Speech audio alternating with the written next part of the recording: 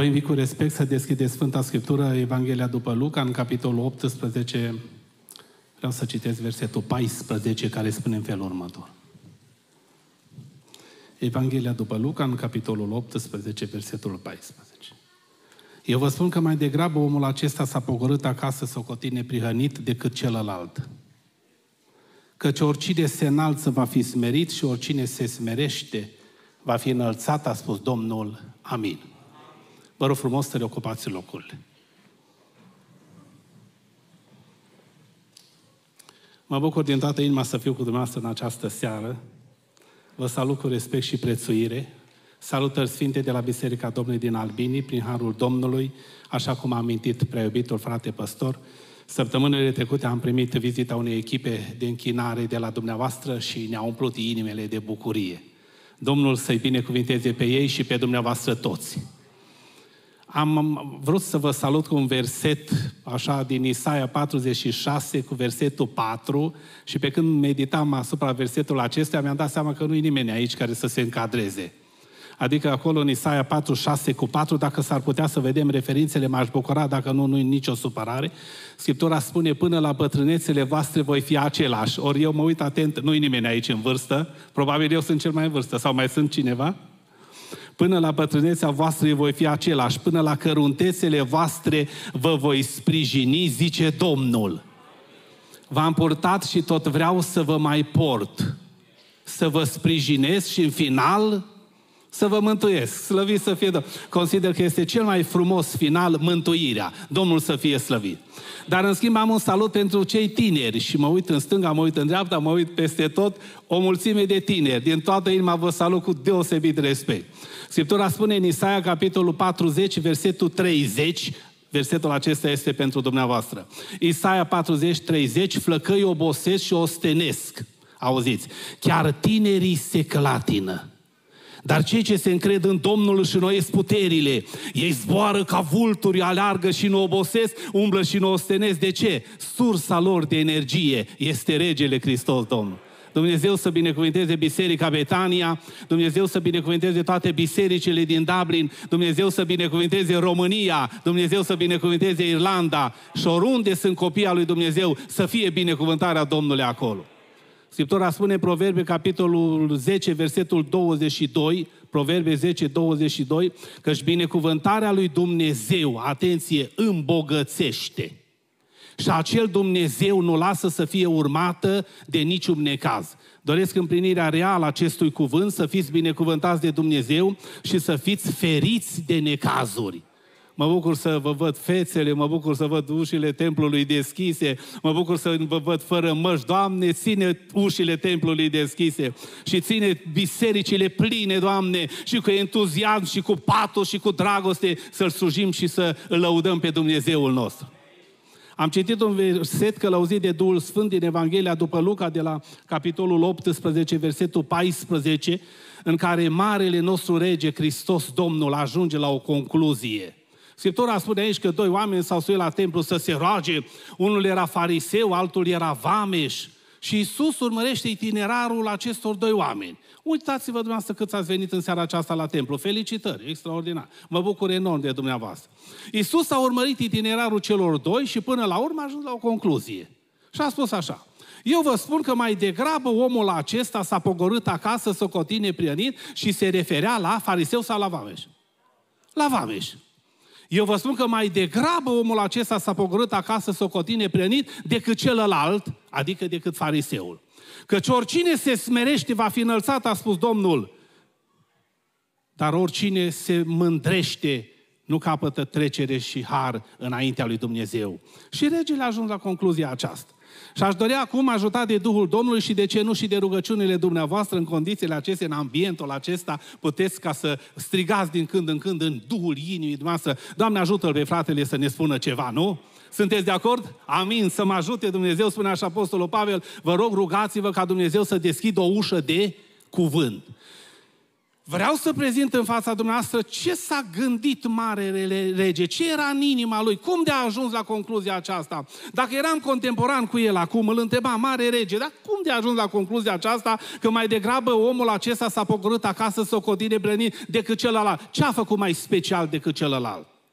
Și regele probabil că ne-ar fi răspuns. Știți dumneavoastră când predica Domnul Iisus din când în când se mai oprea din predică, când făceau frații prea și întreba, înțelegeți voi ce vă spun eu, prea iubiții mei? Ce frumos, extraordinar. Dacă eram contemporan cu regele, eu nu mă lăsam de el. Iubesc foarte mult predicile lui, îl iubesc pe regele Hristos Domnul. Îl cunosc din copilărie, e Domnul vieții mele, e regele meu personal. Aleluia! A lui să fie slava și gloria. Stimații mei, haideți să urmărim itinerarul acesta. Omul acesta a făcut 10 pași. Și eu i-am numit 10 pași spre neprihănire. Mă refer la vameșul ăla, păcătosul acela. Zece pași spre neprihănire. Prin harul și ajutorul Domnului o să-i prezint în fața dumneavoastră. Dacă cineva dintre dumneavoastră se va regăsi în acești zece pași, eu vă felicit anticipat și spun ce a spus regele. Du-te acasă, e să continue prihănit. Slavă Domnului! Doamne ajută-ne! Haideți să vedem cei zece pași. Primul pas. Scriptura spune, doi oameni s-au suit la templu. Adică vameșul, păcătosul ăsta, s-a suit la templu. Primul pas. Felicitări! Este o realizare. 10 pași spre neprenire. Primul pas, ați venit la templu. Păi toți care sunteți aici ați venit la templu. Vă felicit din toată inima. Știți dumneavoastră că se dă o luptă la nivelul minții înainte de a veni la adunare? Și un duh, spunea Iov, capitolul 4, a trecut pe lângă urechile mele. Și am auzit o voce spunându-mi, fiva omul fără vină înaintea lui Dumnezeu? Dacă găsește el vină chiar îngerilor lui, cu cât mai mult celor care locuiesc în case de lut și locuiesc pe țărână în pământul acesta. O, trece un duh pe lângă tine și îți optește la ureche. Nu te duci astăzi la Betania la donare. Nu te duce nici la Elim, nu te duce nici la Betel, nu te duce niciunde. Stai acasă, omule bun, ce tot îți trebuie atâta biserică? Păi urmărești programele, serviciile online prin intermediul internetului, vezi de teabă, simte-te confortabil, puneți o cafeluță pe un fotoliu și urmărește programul și totul este ok. Vă iubesc, vă apreciez enorm că sunteți aici, ați biruit. Slavă Domnului, Dumnezeu să vă binecuvinte.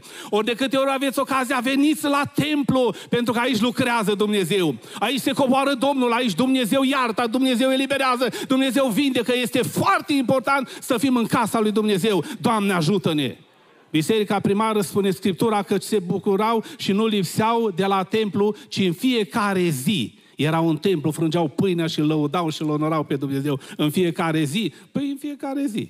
Noi slujim aproape în fiecare zi și prin Harul Domnului mergem înainte că jumătate Dumnezeu ne binecuvintează. Dumnezeu este împotriva celor care sunt o barieră pentru cei care vor să vină la templu. Dacă sunt unele familii care nu toți îl cunosc pe Dumnezeu și unii spun astăzi nu te duci la biserică, soția mea trebuie să asculte de mine, soțul meu așa mai departe, nu fiți o barieră și nu-i opriți pe cei care îl caută pe Dumnezeu, pentru că lucrul acesta nu aduce bucurie inimii lui Dumnezeu. Scriptura spune că Ieroboam era un împărat rău și la un moment dat a zidit doi viței de aur, unul l-a așezat la Dan și unul la Betel și la un moment dat a zis nu vă mai suiți la templu la Ierusalim, nu vă mai închinați, pentru că imediat Israelul se întoarce spre David, ci închinați-vă la viței ăștia de aur. Și Dumnezeu a spus, nu suport pe cei care, care sunt o barieră pentru cei care vor să se ducă la templu. Dumnezeu să ne ajute să nu lipsim niciodată de la slujbele divine și la de, de la serviciu divin. Doamne, ajută-ne! Pasul numărul 2. Atenție, 10 pași spre neprianire. Primul pas, a suit la templu. Felicitări! Ai venit, ai biruit, Poate ai venit mai nervos, poate te-ai venit mai agitat, poate te-ai mai certat puțin cu soția. Cineva îmi spunea, eu înainte de a merge la biserică, clansonez 10 minute și tot aștept pe soția, vine soția nervoasă, agitată, intru la slujbă, trebuie să predic, trebuie să cânt, dar Dumnezeu ne ajută și Dumnezeu ne dă putere. Indiferent cum ai venit, bine că ai venit. Pasul numărul 2. Scriptura ne dă detalii. Iisus urmărea cei 10 pași. Itinerarul acestui om foarte important să ajungă la concluzia, ești neprihănit, du-te acasă. Suie-te la templu exact cum ești. Și nu încerca să te dai drept altul. Pe cine duci în eroare? Încerci tu să duci pe cineva în eroare? Dar ce putem noi să ducem în eroare pe Dumnezeu? Probabil pe un frate păstor, pe mine, pe altul, pe cei la comitetul, mai duci tu în eroare. Sau social mai duce în eroare pe soțul ei, dacă vrea. Și mai știu, se mai poate întâmpla așa ceva. Dar să-l duci tu în eroare pe Dumnezeu? Suie-te la templu exact cum ești și nu încerca să te dai drept altul. Ai venit vreodată la templu și să pozezi în sfânt? și să dai mâna cu frații păstori și să spui extraordinar cum am mai dus nemaipomenit, sunt o legătură pe verticală, duovnicească, extraordinar, Domnul vorbește, sunt plin de Duhul Sfânt. Da, bine ar fi, dacă zici asta, așa să fie. Dar suie-te la templu și nu încerca să pozezi în altceva ce ești, nu încerca să ai o viață duplicitară și să-L duci în eroare pe Dumnezeu, pentru că Dumnezeu N-ai pe cine să-l duci în eroare. Dumnezeu știe și cunoaște absolut totul. Atenție la pasul numărul 2. Scriptura spune că Naman, căpetenie oștirii împăratului Siriei, vine la Dotan, la Elisei. Eu știu să fie vindecat de el. Primește și o scrisoare împăratul lui Israel de la împăratul Siriei. Vezi că am să trimit la tine pe Naman, căpetenie oștirii care este bolnav de lepră. Fă cumva, vezi ce rezolv și vindecă-l. Auziți? Naman, căpetenie oștirii împăratului Siriei, era legat de diavolul cu șapte lanțuri, frate. Șase pe interior și unul pe exterior. Șase nu se vedeau. Se vedea numai unul pe exterior, adică lepra. Atât. Dar șase erau pe interior. Nu știa nimeni nimic. Și Scriptura spune, înainte ca să vină Duhul Domnului a vorbit lui Elisei și a spus așa, are să vină la tine Naman, căpetenie oștiri împăratului Siriei spune să se scufunde de șapte ori în râul Iordan. Rămânem atenți la Evanghelie, copilașii și ocupă locul. Să se scufunde de șapte ori în râul Iordan și va fi vindecat. De ce de șapte ori? De ce nu de șase? De ce nu de opt? De ce de șapte? Stimații mei, Scriptura spune că Naman avea șase lanțuri interioare despre care nu știa numai Dumnezeu și unul exterior care se vedea, adică lepra. Duhul lui Dumnezeu îl deconspiră și îl descoperă prorocului și prorocul îi spune, fă ce spun eu. Și când îi trimite vorbă prin robul său, prin Gehazi, a zis omului Dumnezeu să te scufunzi de șapte ori în apele Iordanului, ies în evidență celelalte șase care nu se vedeau. Și anume, s-a enervat pe loc și în mândria și în aroganța lui a spus, cum? Să mă scufund eu în apele Iordanului, n-am eu abana și par, par mult mai limpezi decât apele Iordanului? Cine ești tu, mă, de vii și îmi spui să mă scufund eu în apele Iordanului? Păi am atâția bani cu mine, cumpăr toată strada asta. Unde? Cine? În căsuța asta mică, aici locuiește omul lui Dumnezeu. Păi eu credeam că va, va veni el la mine, își va duce mâna așa cu finețe pe rănile mele, va invoca, va chema numele Domnului, mă, mă va vindeca lanțurile celelalte ies în evidență și până la urmă s-a enervat de așa manieră, a spus înapoi acasă. Nu? Am plecat înapoi. Pe drum la întoarcere se apropie de el un slujitor și spune, stăpâne, dacă omul lui Dumnezeu ți-ar fi cerut un lucru greu, un lucru mare, nu l-ai fi făcut ca să fii vindecat. Stăpâne, mai lasă din mândria asta, din aroganța asta. Nu te da atât de mare și atât de arogant. Ascultă-mă, stăpâne. Scufundă-te de apele Iordanului și vezi ce se întâmplă culmea, s-a lăsat înduplecat de un slujitor, se scufundă de șapte ori în apa Iordanului și când s-a ridicat a șaptea oară din apele Iordanului, carnea pe el nou nouță. Parcă era un copilaș. Nu-i mare Dumnezeu. Nu încerca niciodată să te dai drept altul când vii la templu, ci vino exact cum ești. El știe situația ta, starea ta, problemele tale, înfrângele și biruințele tale. El știe cu ce te, ce te confrunt. El știe absolut totul despre tine. A încercat la un moment dat și Iacov să-l ducă în eroare pe bătrânul Isaac, știți dumneavoastră. Și a spus, cum este numele? L-a întrebat de vreo două, trei ori. Și el a spus, numele meu este Iacob. Dar îl mințea. Pentru că el s-a dat drept Esau. După pieile de ei spuse pe mâini, bătrânul Isaac nu mai vedea, a încercat să-l ducă în eroare. Și până la urmă Isaac a rostit binecuvântarea. Știți dumneavoastră că se întoarce după 20 de ani înapoi acasă? Și la întoarcere pe malul Iabocului, îngerul lui Dumnezeu îl întreabă din nou, care este numele? Să văd ce îmi răspunzi acum, după 20 de ani. Și pe malul Iabocului Scriptura spune, după 20 de ani, numele meu este Iacob. Oh, ai spus adevărul. A luptat cu Dumnezeu, unii probabil citesc acolo și se gândesc, cum domnule a luptat cu Dumnezeu Iacob pe malul Iabocului? Prorocul Osea dă explicații în privința aceasta. A plâns și în hohote de plâns l-a rugat pe Dumnezeu să-l ierte și să-i dea putere. Și Dumnezeu l-a atins și l-a binecuvântat acolo pe malul Iabocului. Dumnezeu să fie slăvit. Pasul numărul 2 Vino întotdeauna la templu fără să te dai drept altul pentru că lucrezi cu Dumnezeu. Știe absolut totul despre tine. Te cunoaște în cele mai mici detalii. Nu încerca să pozezi în sfânt pentru că Dumnezeu te cunoaște. Merge mai departe. 10 pași spre neprionire. Pasul numărul 3. Știți dumneavoastră că este indicat să nu aștepți acasă să te faci mai bun, că niciodată nu te vei face mai bun, ci vei deveni mai rău. Ci vino la templu exact în starea în care e. Nu aștepta acasă să te faci mai bun, că s-ar putea să te faci mai rău. Mereu, mereu auzim mesaje și idei. Domnule, nu te sui la templu, n-ai ce căuta acolo, nu-i pentru tine acolo. Vezi-te treaba, acolo este un loc pentru neprieniți, acolo Dumnezeu lucrează. Vreau să vă spun, templele Domnului, casa lui Dumnezeu, nu este un muzeu de etalare a talentelor noastre, Casa lui Dumnezeu este un spital de recuperare, cum spuneau frații aici.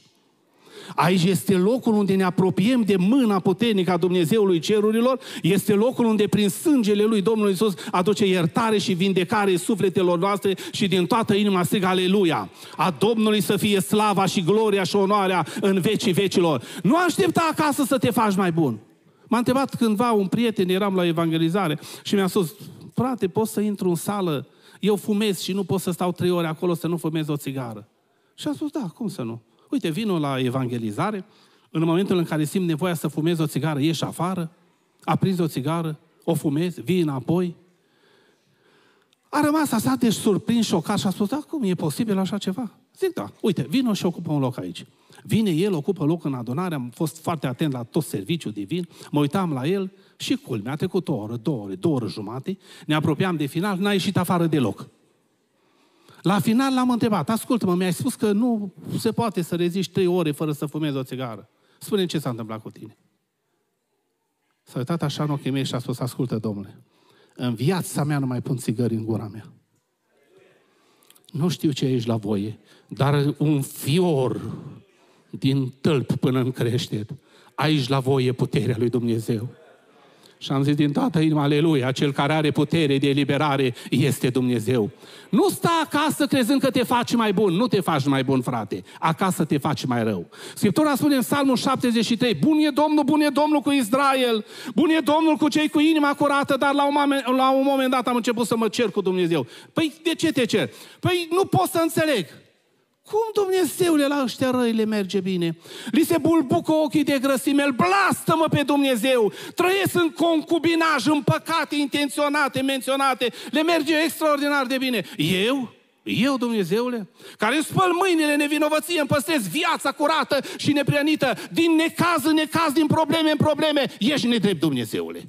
Dar nu se poate așa ceva. Și am crezut că și lucrul acesta este drept înaintea lui Dumnezeu. Dar mi-am dat seama că m-am înșelat. Psalmul 73, versetul 17. Scriptura spune, credeam aceasta până când am intrat în templul tău cel sfânt și am luat seama la soarta de la urmă a celor răi. Când Dumnezeu mi-a spus, ascultă, tu te cerți cu mine? Că celor răi le merge bine.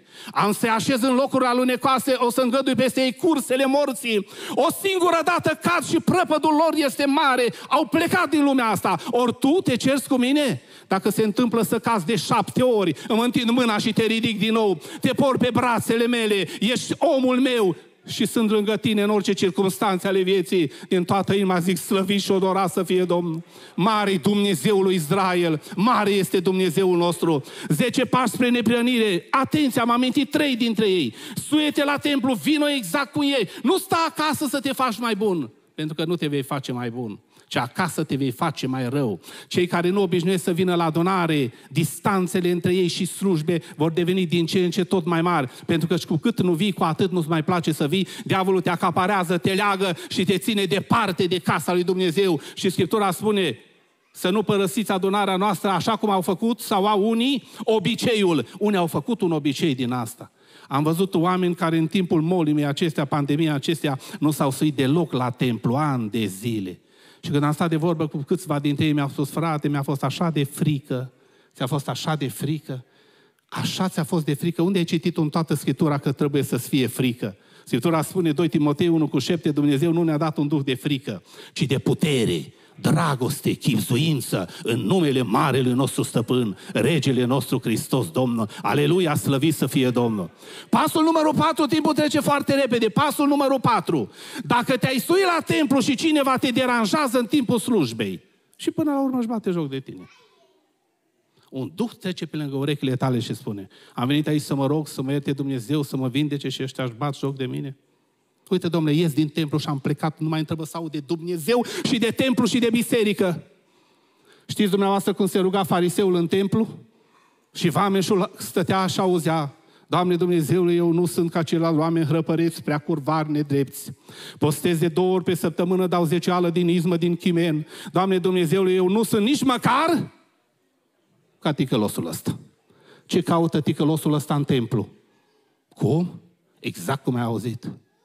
Pasul numărul 4, când te simți deranjat în templu, când cineva nu te suportă și prezența ta irită, și când o șoaptă spune pleacă din templu pentru că nu vezi cum își bagi joc de tine, biruiește omule, smerește-te, rămâi în templu, aici e locul de prelucrare. Aleluia, glorie Domnului, slăvit să fie Domnul. Vameșul nostru chiar aude nu sunt nici măcar ca și vameșul ăsta ticălosul El continuă să rămâie în templu. Felicitări! Regele urmărește pașii ăștia pe care i-a făcut. A rămas și regele entuziasmat încât în cele din urmă a spus mai degrabă omul acesta se va pogora acasă socotit neprianit decât celălalt.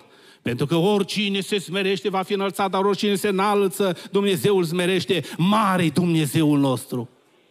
Stimații mei, mi-amintesc la un moment dat o femeie văduvă rămasă singură, a rămas fără nimeni. Și la un moment dat, omul, ciobanul din sat, căruia îi dăduse câteva oi pentru vară, în grijă, se întoarce toamna în 6 decembrie, mai puține cu două. Și a spus femeii, tu ești pocăită, nu-i nicio problemă, îți spun adevărul, nu vreau să avem repercursiuni, una a murit de bătrânețe, cealaltă a mâncat-o un lup și îți aduc din cinci trei înapoi. Lucrul acesta care vi-l spun, vi-l spun înaintea lui Dumnezeu. Femeia cea văduvă era mama mea. Toamna mă duc acasă la ea și printre lacrimi îmi spune, am rămas văduvă și de când am rămas văduvă, toată lumea își bate joc de mine. Până și ciobanul din sat își bate joc de mine. Du-te și spune ciobanul, nu te tem tu de Dumnezeu să-ți bagi joc de o femeie văduvă și în loc de cinci aduci trei înapoi? Du-te și spune. Asta nu te supăra, nu mă duc. Dacă ai nevoie de ceva în viața asta, eu îți aduc. Vin de la cruz, în copilul tău. Tot ce vrei îți aduc. Dar nu mă duc. Eu sunt omul lui Dumnezeu, nu mă cer cu el. În primăvara celuilalt an am plecat acasă, am mai plecat de multe ori de până atunci, dar și mă duc la biserică acolo la noi la țară. Intru în biserică, ciobanul lângă mama, pe scaun în sală. Stau de vorbă cu el la urmă și întreb, ce s-a întâmplat? Și mama spune, a venit ciobanul din sat la mine și mi-a spus așa. Am știut că ești o femeie pocăită și că nu mă dai în judecată și pe la tribunale. Vreau să spun, nici n-am murit de bătrânețe, nici n-am mâncat-o lupul. Le-am vândut, le-am vândut pe amândouă și le-am băut. Am așteptat să vii, să te cerți cu mine, să faci ceva. N-ai venit. Mă mostra conștiința zi și noapte. N-am mai rezistat. Am venit să spun, tu ești omul lui Dumnezeu și vreau să-L slujești și eu pe Dumnezeul pe care îl slujești tu. Și am zis, aleluia! A Domnului să fie gloria și slava și onoarea mare Dumnezeul nostru. Când cineva te jignește în templu și își bate joc de tine, fără supărare, acum modul cel mai sincer, dacă ai luat 2000 de euro împrumut de la un prieten de-al tău și acum ți-a promis că ți dă în două săptămâni, nu ți-a mai dat. Și deodată te trezești cu el în Betania, lângă tine, pe scaun. Nu vine un duh pe lângă tine și spune, mă, ăsta, dar cum poate fi așa de neserios, domne, să nu spun altceva? Domne, uite, nu se ține de cuvânt, nu dă banii, nu te temi tu de Dumnezeu. Ascultă-mă, nu asculta șoaptele alea. Continuă să rămâi aici, că aici te prelucrează Dumnezeu. Ca în final regele să poată spune, spune, du-te acasă, e socotit neprienit. Slăvit să fie Domnul. Mi-amintesc, eram la o evangelizare undeva lângă Oradea. Și în timp ce predicam pe orele 19-30 ora României, se deschide odată ușa templului și intră un bărbat în biserică, tot în jura. în timpul predicii. Înjurat de așa maniere că toată sala, vă spun, și-a întors privirile spre el. Eu am rămas singur la avon, toți se uitau la el. În momentul acela au venit doi oameni de ordine, l-au luat unul de o mână, unul de altul, de alta și l-au scos afară. Când au ajuns lângă ușă să-l scoată afară, am avut așa de la Domnul o lumină și am spus fraților, vă rog frumos, nu-l scoateți afară. Aduceți-l aici în față la mine. Frații de ordine au venit cu el în fața aici, în fața amvonului acolo. Când a venit în fața amvonului, m-am uitat așa la el și am spus, Domnule, Domnule, n-ai vrea să facem o rugăciune pentru dumneavoastră? Și el a spus, mm, da, faceți. În momentul acela mi-am întors privirile în dreapta, era un cor de fete. Plângea una dintre ele, de zburau lacrimile din ochi. Și nu realizam ce se întâmplă. Plângea în hohote. M-am uitat în sală, plângea o femeie în hohote. După aceea mi-am dat seama că era fică sa și că era soția lui. Vă spun înaintea Domnului, am rugat poporul să se ridice în picioare. Pe el am rugat să se plece pe genunchi. Cu toată biserica ne-am rugat pentru el. Ca Dumnezeu să le libereze. În urma rugăciunii care am făcut-o, omul nostru s-a trezit deodată ca dintr-o comă alcoolic așa și am auzit câteva cuvinte rostite de el între timp ce a venit fică sa și nevastă sa lângă el, acolo în față. Și a spus așa, Domnule, de mult timp vreau să mă întorc la Dumnezeu. Nu pot să mă las de alcool. Sunt legat de diavolul cu lanțul acesta. Dumnezeu a hotărât seara aceasta să vin aici. Dumnezeu m-a eliberat. Și acum sunt convins și hotărât să închei legământ cu Domnul în apa botezului. A venit nevastă sa lângă el și fică sa și nevasta a spus câteva vorbe. Ascultă-mă, când am pornit de acasă i-am spus, vino și tu la evangelizare. Avem evangelizare în seara aceasta, te rog, vino. Ori el a spus, du-te tu cu fica, cu fata, așa, și eu voi veni mai târziu. S-a oprit pe la cârciumă, așa, și el vine pe la 19.30, nu pe la ora 18. Dar mulțumesc lui Dumnezeu care m-a eliberat în seara aceasta. M-am bucurat, am dat mâna cu el, l-am felicitat. Acum am încheiat legământ cu Domnul Apa Botezului, este un membru extraordinar. Vreau să închei timpul la trecut, cei șase pași o să vi spun eu altă dată dacă Dumnezeu ne va mai ajuta, dar vă spun pe coloar la ieșire afară, când să ies din sală, vine un bărbat la mine, dă mâna așa cu mine, te felicit. Era un prieten din adunare. Un domn se ocupa de exploatare forestieră pe zonă și îmi spune, domnule, domnule, seara asta m-am hotărât să mă întorc la Dumnezeul vostru. Ce v-a determinat? Probabil cântarea, mesajul nu, nici una, nici alta. Domnule, dar totuși ce v-a determinat să vă luați o decizie să vă întoarceți la Dumnezeu? Și el îmi spune așa, ascultă, Domnule, în orice instituție din lumea aceasta, oricine pe omul ăsta îl scotea afară. Voi l-ați chemat înapoi. V-ați rugat pentru el. L-am auzit spunându-mi că și Dumnezeu l-a eliberat. Însemnează că Dumnezeul vostru e Dumnezeul cel adevărat.